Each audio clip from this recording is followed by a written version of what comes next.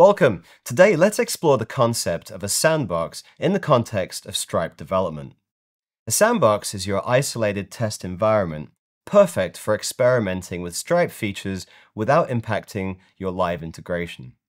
For example, in a sandbox, any payments you make aren't processed by card networks or payment providers, and this allows for safe testing. One practical use case is simulating Stripe events. This means you can test payments functionality without real money moving around. Create payments in your business account to build a fake balance or use test helpers to mimic external events.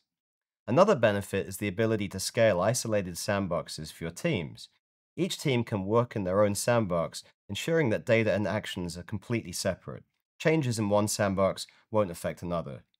You can also invite external users like implementation partners or design agencies to access either all sandboxes or a specific one without giving them access to your live data.